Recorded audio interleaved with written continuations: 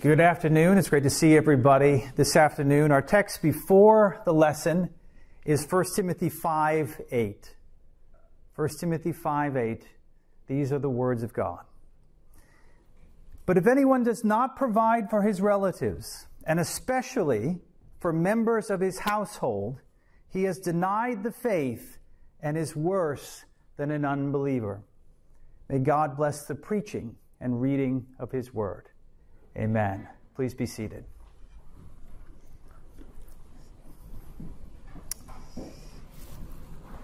Over the past few years, the phrase Christian nationalism has been trending not only in the evangelical Twitter sphere, but on mainstream media platforms.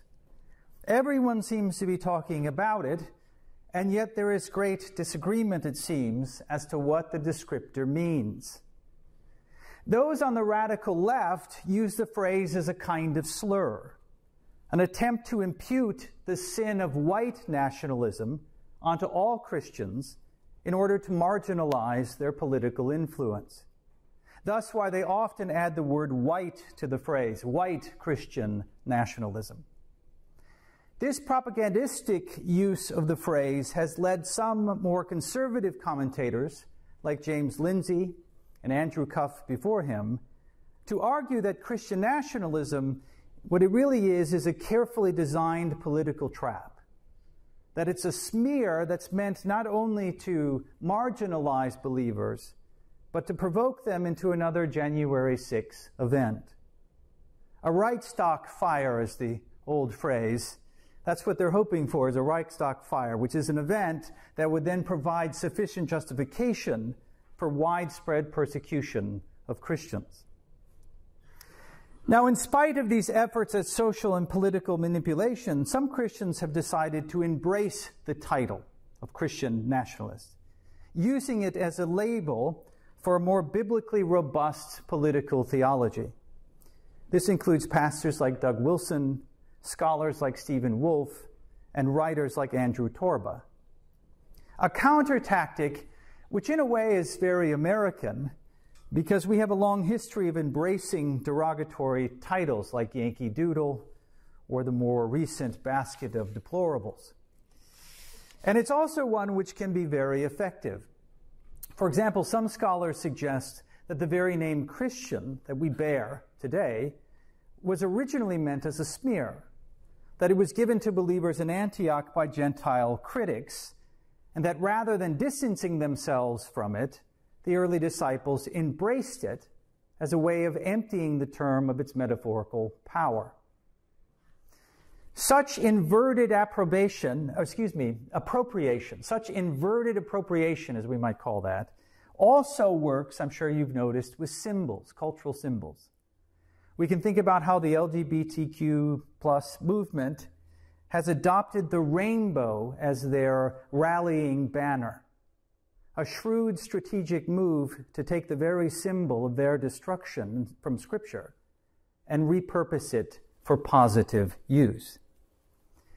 Now, these kinds of skirmishes, right over words, are significant. We should not ignore them because the kinds of the kind of ideological war that we are in is, as much as anything else, a battle over who gets to control the words and the symbols of our culture. In fact, you might define culture, as I often do, as the very words and symbols that help us transliterate the sacred order into the societal order.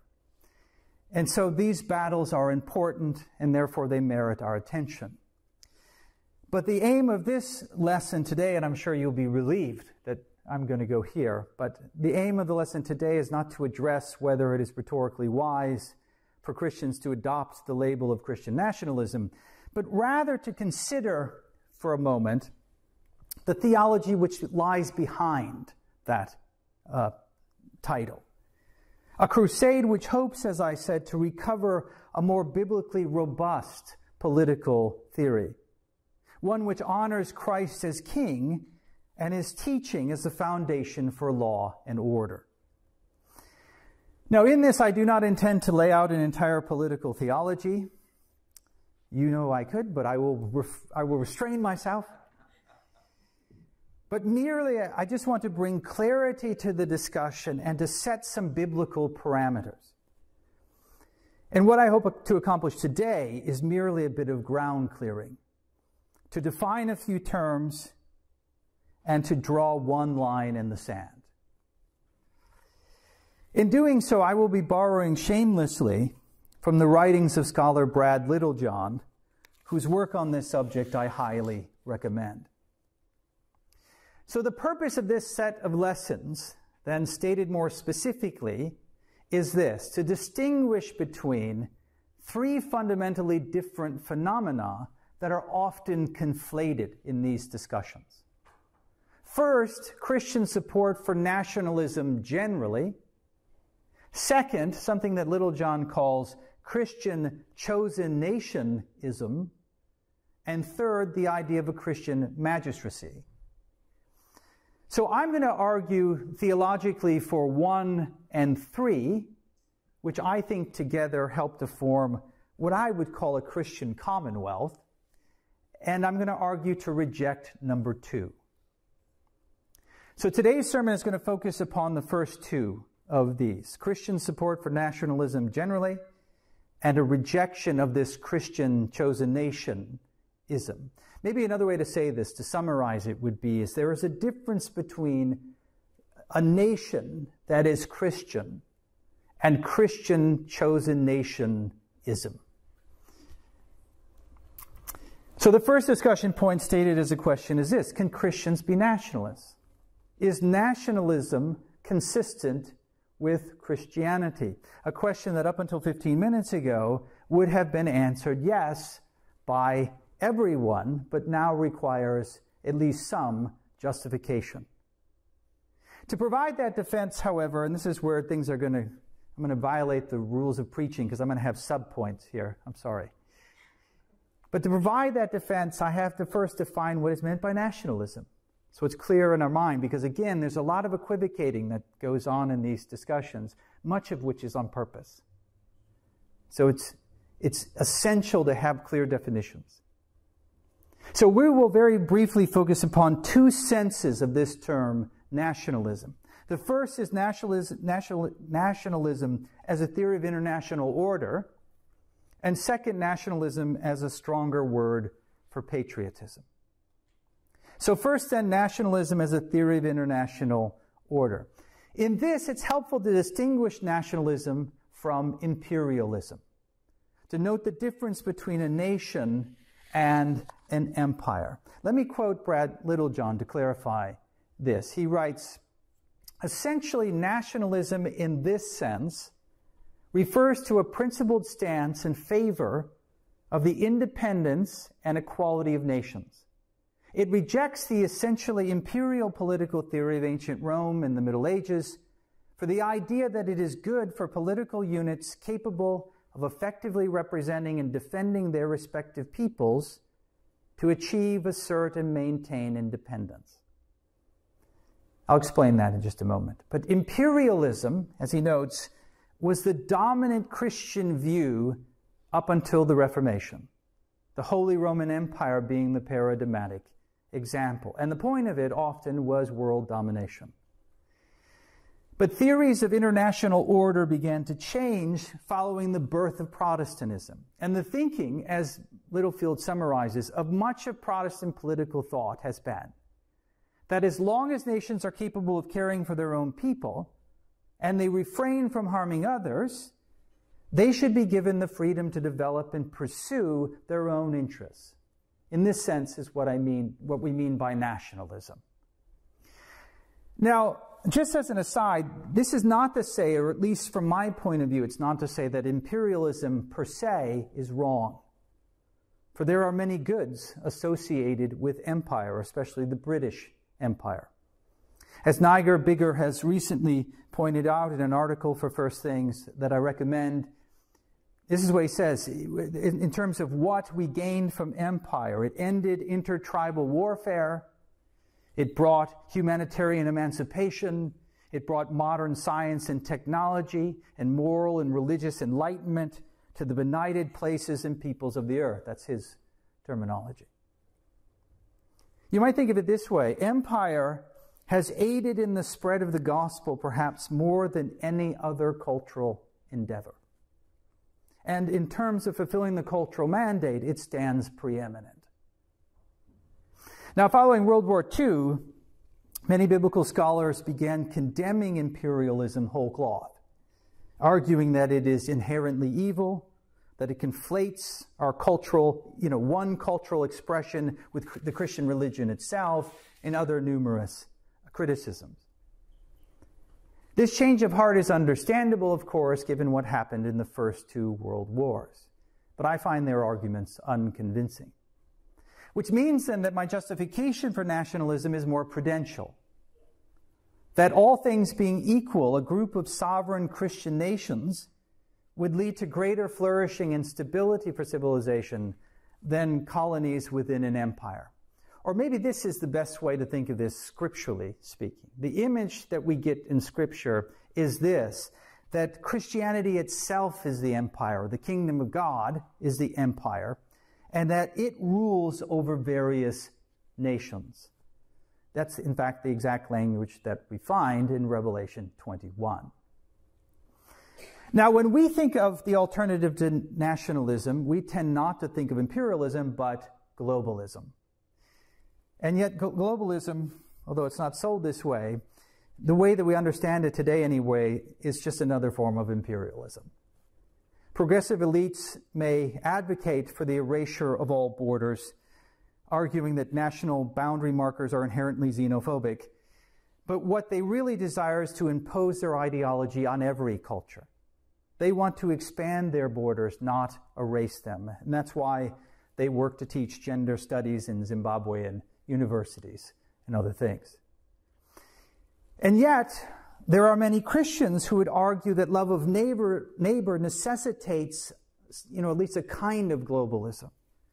That if we are to follow in the footsteps of the Good Samaritan, we must open our borders and show true hospitality, at times even showing radical hospitality. But here's the thing the love of neighbor does not require the forfeiture of one's national sovereignty. Borders, just like the exterior walls of your house, don't prevent hospitality. In fact, they make it possible. Because without them, you have nothing to invite people into. There is also this in Proverbs 25 17, which says, Set Seldom set your foot in your neighbor's house, lest he become weary of you and hate you. All this to say is that there is a limit to hospitality. And the borders of our nation are one of those limits. In fact, if you don't have limits when it comes to your hospitality, if you tear down every border, you will be enslaved. People will take advantage of you and enslave you. So there are limits to it. All of this to say that there's nothing inconsistent with nationalism as an international way of ordering people and Christianity. Okay, so the second sense then of nationalism, this is the one that's going to be even more controversial. And that is, we speak of nationalism as sort of a stronger word for patriotism. So the question is, is it biblical for Christians to have a strong sense of patriotism? Which Littlejohn defines as not only pride in one's nation, but also a desire for it to succeed and flourish. The first of those is controversial with those who are very progressive, but the second part of that is controversial among even conservative Christians. And the worry, as Littlejohn notes, is that this kind of national pride this kind of putting our nation first, this kind of national prioritizing, is somehow in tension with our universal allegiances to one another as members of the global body of Christ. In other words, how can we put our nation first if we have brothers and sisters in Christ in other nations who ultimately are owed our allegiance? The popular apologist Neil Shenvi in his review of Stephen Wolfe's book on Christian nationalism, well expresses this concern. He writes this The Bible teaches by both precept and example that our identity and our solidarity need to be primarily oriented toward God's people within the church and not around either, he uses the word ethnicity in quotes. What he means, means by that really is nation, not around either nation or even family. Right? Our allegiance ultimately is to be towards God's people. And in support of this argument, Shenvi cites the story of when Jesus is informed that his mother and brothers wish to speak to him. This is in Mark 3 33 through 35. And he replies this way Who are my mother and my brothers? And looking about at those who sat around him, he said, Here are my mother and my brothers. For whoever does the will of God, he is my brother and sister and mother. From which Shenvi concludes this here, Jesus himself is saying that his relationship to his disciples was closer than even his relationship to his own biological family. Now, this principle that Shenvi is, is putting forward is true, of course. But it is a truth that must be balanced by what Scripture also has to say concerning the priority that we are to give to our household, is the word that Scripture often uses which is to say, the priority we are to give to those who are near us, both in terms of our duty and allegiance, which brings us back to 1 Timothy 5 8, which again says, But if anyone does not provide for his relatives, and especially for members of his household, he has denied the faith and is worse than an infidel. Notice the distinction here between relatives who are farther off and the immediate household, which, by the way, in this context, would include non relatives. There's a distinction that's being made. Those who are closer to us, is the implicit principle, are prioritized in terms of our responsibility. Again, look at 1 Timothy 5 4. But if a widow, that is to say, a woman who's now in need, has children or grandchildren, let them first learn to show godliness to their own household and to make some return to their parents, for this is pleasing in the sight of God. Right? If there's a widow, it's not the church who has the first responsibility to take care of her, but her immediate family, those who are in her household. Or we can think of the scribes and Pharisees, the story that was read to us a little bit ago, whom Jesus rebuked because they were tithing their money essentially to the temple and neglecting their parents. It would be like giving all your money to the church right? And, and your, your parents are starving or they are in need of your help. They need medical care or something and you ignore them. That is something that Jesus rebukes. So, according to Scripture, then, there's a general ordering of our loves which is prioritized the near, which prioritizes, I should say, the near over the far. It prioritizes family or friend over stranger and it prioritizes fellow citizen over foreigner. And not because those who are close to us are superior to those who are far. It's not because they are more worthy of our help or our allegiance. It's not that my family is better than yours. Okay, they are, but that's not the reason why. I, I have a duty to prioritize them. It's because they are what God has given to me, and given me too. This is an insight that comes to us from Augustine. So it's an old Christian insight. And it's simply just a recognition of the ethical import of divine providence in placing us where we are, in the particular family that we are in, in the particular city, in the particular nation. And to deny this proximal responsibility, particularly in our actions, is viewed in Scripture as a great evil. Here's another example. Think of the church universal. Okay. Shepherds are not given the responsibility to watch over every Christian on the planet. Right? That would be impossible. But they are to watch over the flock which is among them which means that I will do whatever I can to help a fellow Christian, but not at the neglect of my own congregation.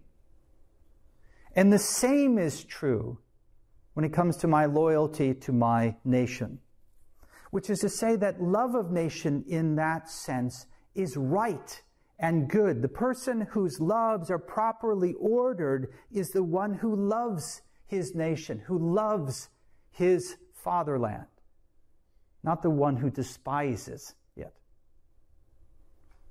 Now, if God places you in the city of Jericho, a city that according to Joshua 6:17 is wholly devoted to the Lord for destruction, then it would be righteous to work to subvert its authority by hiding the spies. Which one could argue is what's best for that city to be taken over by the people of God. But the point is, is that the gospel can act as a sword to divide these natural ties, just as Jesus warns.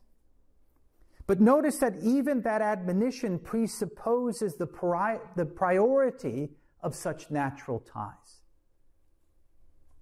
The point is that prioritizing the flourishing of our nation over others is no less biblical than prioritizing the flourishing of our family over others. I want to help your family flourish in any way that I can, but I cannot neglect my own family in the process. To do so would mean the denial of my proximal responsibility and render me worse than an infidel. The same would be true of one's responsibility to our nation. As I said, this is a long standing Christian insight, and it's one that we have forgotten. And there are people still today, especially in the South, who still have a love for their nation, but the justification for it, the biblical justification for it, has eroded away. And so it is slipping. Right? It's, it's viewed as, you know, quaint, right, or unsophisticated. Well, you know, your Christianity is unsophisticated if you really love your nation, if you have a flag, right, in your building, right, which we'll talk about in a minute. That's so quaint, right? It's because we've lost the justification for it, the, the robust biblical justification. And here's another thing this natural love of nation should express itself in genuine praise. Just as when we give honor to our parents for giving birth to us, we honor our nation for doing the same. The word nation comes from the Latin word natio, meaning birth. And such honor should take the form of national days of celebration and the enshrining of origin stories in our public institutions. The same kinds of stories, mind you, that you pass down in your family, which bring not only a sense of transcendence by connecting you to the past, and duty, duty to the future, but also a sense of belonging. All of which are necessary for a meaningful life and a robust sense of identity. The very things, by the way, that we lack today. But I can hear the voices in my head, right? Of the criticisms, right? How can we praise predecessors who were slave owners, right? Or who committed atrocities against those who were indigenous to, the, to this land? And, and on and on the criticism goes of our age. Much of the criticism, of course, isn't even true. But of course, some of it is. The founders of our nation were not perfect. They were human beings and they were sinners, and some were worse sinners than others. So, what do we do with that then? Can we still praise these men who owned slaves? These men who sinned, who were men of their, their age? Well, first of all, it's unreasonable to demand perfection from our forefathers or our, from our parents for that matter, as a condition of our gratitude. Only a spoiled child insists upon perfection before expressing his praise. Only a spoiled child does that. On the other hand, we must not turn a blind eye to their iniquity either. And I like the way that Littlejohn handles this. He says this The pious man knows the sins and shame of his father but modestly covers his nakedness like Shem and Japheth, rather than exposing and mocking it like Ham. You know this story. We are living in a nation of hams? In more ways than one. Those who love to expose and mock the shortcomings of their forefathers chronological snobs, as C.S. Lewis called them, which, by the way, is very easy for them to do because all these men are dead, right? But, you know, if any one of these, you know, sages of our age were actually in the room, you know, you take Ibram X. Kendi and put him in the room with John Adams, he would have his hands full, right? John Adams had a, was playing with a full deck, as people used to say. Instead, our orientation towards our ancestors should be one that is based upon charity. And as Protestants, we once knew this. In fact, we were catechized in it. Listen to the words of the Westminster Larger Catechism. And I know we come from different backgrounds, and you may not, you know, you, whatever denominational background you might come from, but let's be honest, we were all Presbyterians once, okay, if you're Protestant. So I'd be the bearer of bad news, but that's history for you. So here's the Westminster Larger Catechism. The question being, what is the honor, what is the honor that inferiors owe to their superiors? And here's the answer. The honor which inferiors owe to their superiors is all due reverence in heart, word, and behavior, prayer and thanksgiving for them, imitation of their virtues and graces, bearing with their infirmities, and covering them in love, that so they may be an honor to them and to their government. We need to catechize our children to look upon our ancestors, our forebears, with this kind of charity, so that their hearts might be filled with gratitude, not resentment.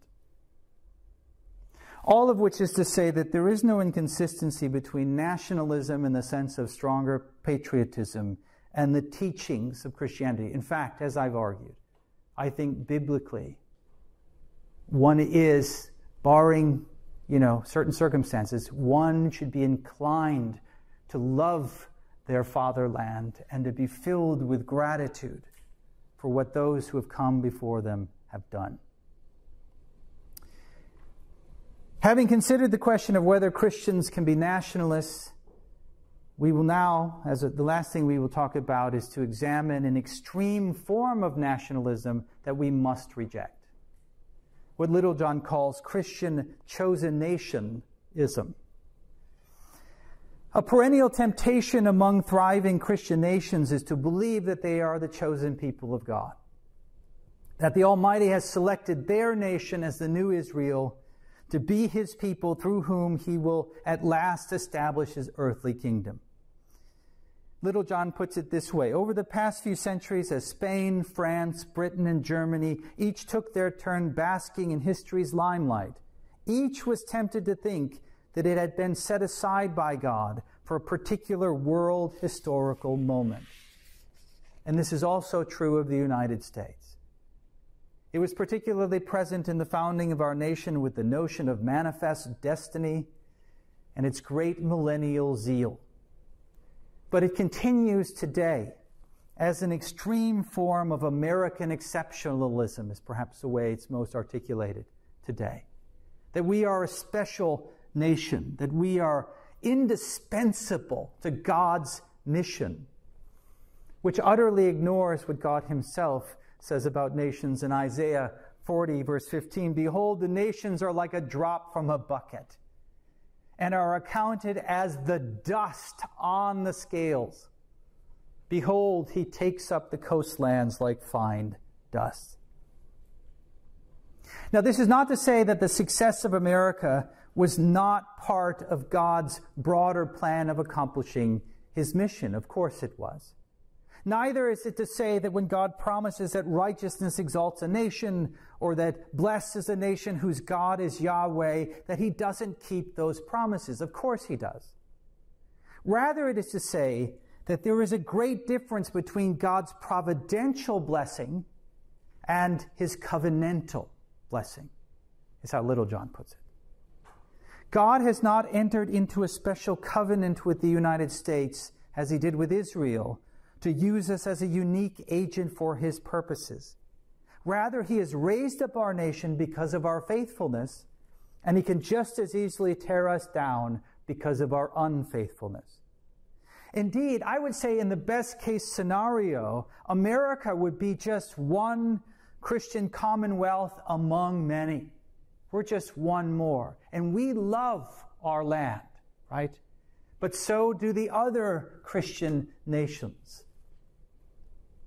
And so we would all be equal. And so, therefore, Trump is not God's anointed. Please, no one say that to me, okay? He is not. Don't put it on Facebook. Don't put it on X. I will unfriend you. Don't worship the flag, okay? Here's something interesting. There's two flags up here. This is the Christian flag, and this is the flag of the United States of America. The protocol, and I learned this recently because now I can hang two flags outside my house. But the protocol, when you display flags, when they are of the same height, is that the superior flag goes to the right, just as this Christian flag is, right? And the inferior, right? The, the nation versus the empire, you might say. So the representation here is right. This is the, this is the order that we have to keep things in. Now, having said that, in fighting for my nation, make no mistake, I'm fighting for my home. And therefore, I take it very seriously. But I have to be careful not to turn my home into an idol, just as we don't want to turn our family into an idol. There are times when the sword of truth must sever such natural bonds. And when it does, we must pledge our allegiance to Christ and not our country.